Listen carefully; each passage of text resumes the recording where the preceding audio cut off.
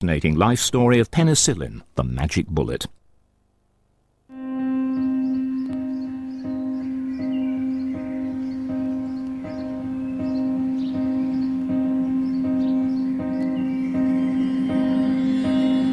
Nineteen twenty-eight. Mould spores drift in the wind across the London rooftops. They blow in the second floor window of St Mary's Hospital, the laboratory of Alexander Fleming.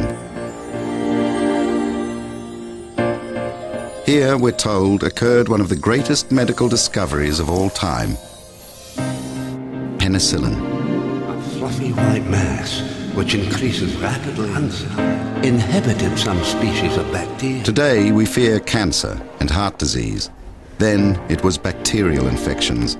Meningitis, pneumonia, tuberculosis were words of doom. When penicillin became a medicine, the world changed forever. Alexander Fleming received most of the public credit for the miracle. But Fleming's laboratory notebooks reveal that he quite quickly abandoned work on penicillin, convinced that it would never work in living tissue.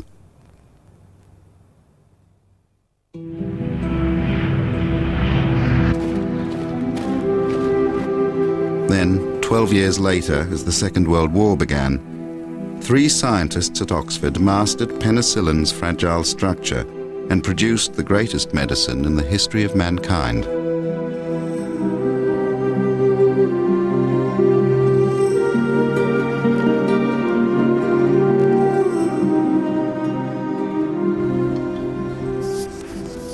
Australian Howard Florey was the youngest ever professor in the Sir William Dunn School at Oxford University.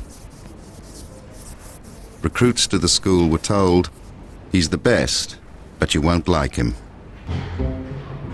Through the 1930s, he combed the English universities to recruit his dream team to the Dunn School. As chemist, he chose the temperamental German Jew, Ernst Chain. A refugee from Nazi Germany, Chain proudly kept a Gestapo wanted poster on his laboratory wall. Then there was Norman Heatley. His genius was making laboratory equipment from university junk. We do not go. Vulgar is not a fair term. It's It not is a fair vulgar, term. it is It's crass. From the start, the relationship between Chain and Florey was lively. It was said the walls echoed with their shouting matches. But that came later. Made freely available to everyone. On the summer evenings before the war, they walked together, challenging each other's ideas and planning new directions for their research. In retrospect, the planning and unfolding of experiments uh, appear to be a beautiful and logical sequence, but we all know that the facts are that we usually stumble from one lot of dubious observations to another. Chain had discovered that the use of molds to stop wounds becoming infected went back to ancient times. The Chinese had used moldy soybeans, the Greeks used moldy cheese. And in Florey's country, Australia, Aboriginals made bandages of moldy bark taken from the shady side of trees.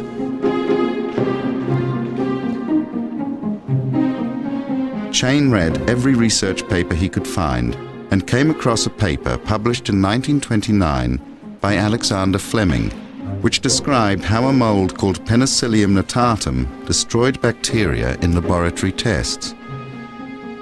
The subject took my interest, and I could see at least uh, five years of good scientific work on these antibacterial substances. But no one had taken the next big step. It was bacteria growing inside the body that were the big killers. Could molds be used to stop them? Chain discussed his ideas with Florey. Chain proposed, and I agreed to go along with this proposal to investigate the mould in detail. Chain found a sample of Penicillium notatum at the Dunn School. To move beyond the previous work, Chain needed to extract the active ingredient from the mold so they could inject it. I could see from Fleming's papers that he could see the potential of the mold, but he had been unable to take the work further. You know. See, The active substance of, of was extremely unstable and difficult to isolate.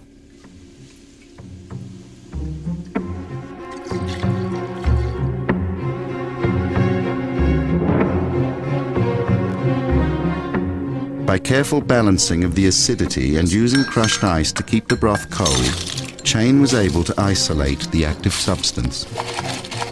It took nearly two years, but by early 1940, Chain delivered the first tiny amount of insignificant-looking yellow powder. This was penicillin. This was what killed bacteria. Now it was Florey's turn.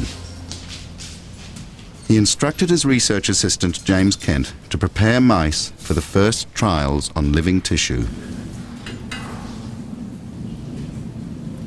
Norman Heatley recorded the event. May the 25th, 1940, we did an extremely crucial experiment to see if penicillin would prevent the certain death of mice experimentally infected with streptococcus, a, a disease germ. Eight mice were taken, and all were given a certainly fatal dose of this organism, and four were given penicillin. As he often did, Florey filmed the experiment.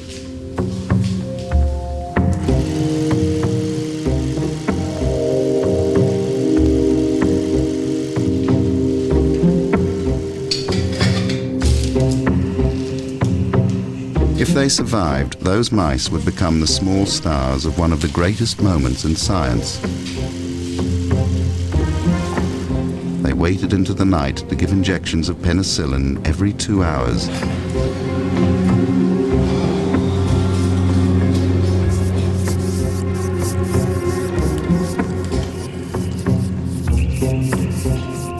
Florey gave the final injection at 10 p.m.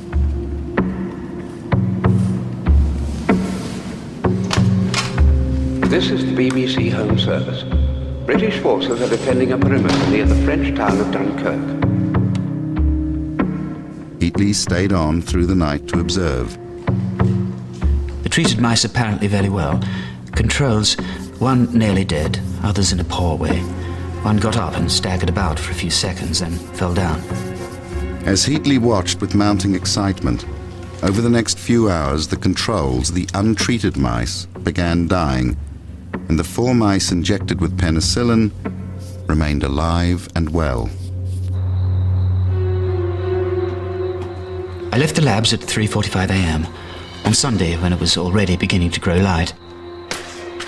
All four control animals were dead. It really looks as if penicillin may be of practical importance. As the Sunday bells rang out over Oxford, an excited Britain woke up to the news that 300,000 British troops had escaped the German army at Dunkirk. At the Dunn School, they woke to the news which would ultimately be of far greater significance. Four albino mice had survived a fatal dose of bacteria, virulent hemolytic streptococci, thanks to an injection of yellow powder. Oh, Margaret, come and see. One of the first people to hear the news from Florey was Dr. Margaret Jennings. Jennings had recently joined the team to work on bacteria.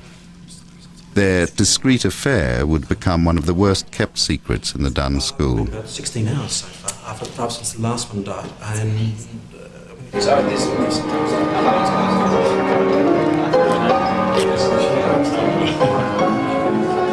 They had seen a magic door of healing open a few inches, but they still didn't have anything like enough penicillin to conduct experiments on humans.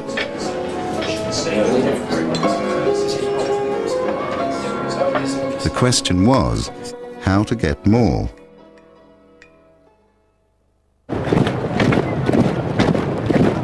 Hitler now occupied Belgium, France, and the Netherlands. Britain waited. Her factories worked round the clock, building stocks of war supplies. It was impossible for Florey to find anyone to manufacture penicillin. His only option was to turn his university department into a clandestine mould factory. They would have to use every available warm spot in the school. Well, the work was going on on, on many fronts, but the, the yield was pathetically small.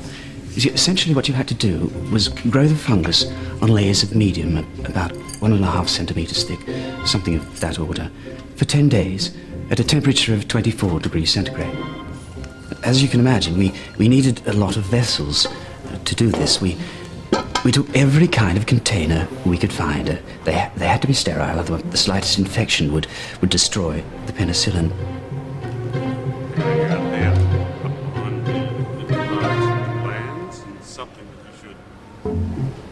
It was a risky move for Florey, something just not done in a teaching institution. At this early stage, every step involved difficulties. The mould needed warmth to grow, but the penicillin-rich broth had to be concentrated under cold conditions. For Heatley, that meant long hours in the Dunn School cold room.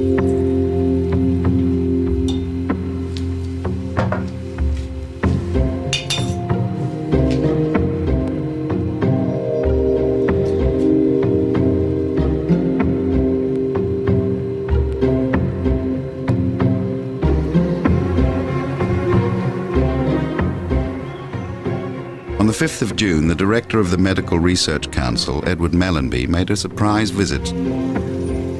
The MRC was the main source of funding for scientific research in Britain. Here was an opportunity to ask for funds for their fungus factory. But Florey was cautious. He decided they would keep Mellanby in the dark about how far they had progressed with penicillin until they had more substantial results.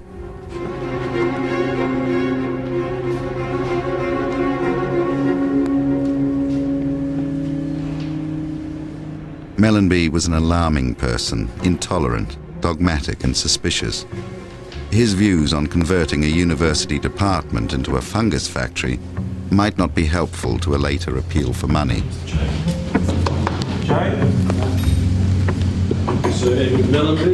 Florey was often accused of getting more than his fair share of MRC funds. There was always the fact that uh, one could get away with being audacious you could do outrageous things and be tolerated and made allowances for because you're one of those rough colonials. The peculiar smells of fermenting mould broth wafted through the Dunn School. But in the end, Mellanby saw nothing to suggest any unusual activity for a university.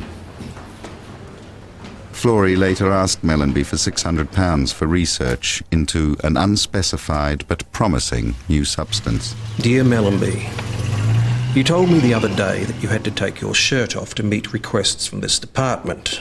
It seems to me that I have acquired a reputation of being some sort of academic highway robber, what we call back home a bushranger. This time, Mellanby gave him only £25.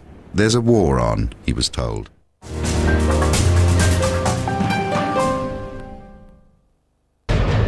When he passed by, he had no other choice but to engage me.